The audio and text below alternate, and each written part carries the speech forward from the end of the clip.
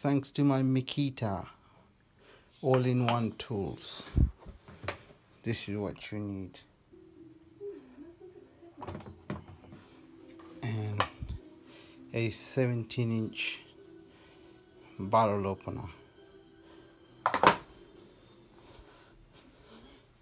And a pliers. It's all done